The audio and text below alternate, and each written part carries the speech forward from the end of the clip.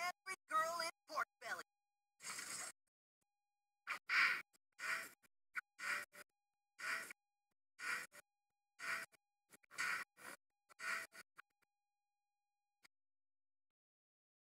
Uh, we're like girls, and we have to like get home in like 10 minutes or our dad will